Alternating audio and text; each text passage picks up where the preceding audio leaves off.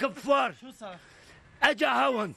عيلة بأكمل وراح. ماتوا. بدون دين هدول. ما عندهم وجدان ما عندهم ضمير ما عندهم ما بعرف إيش بدي أقول ما بعرف. وحاليا رح متواجدين على الأرض. وإن شاء الله ما بنتحرك من هون لنكمل استنظيف الشارع بالكامل.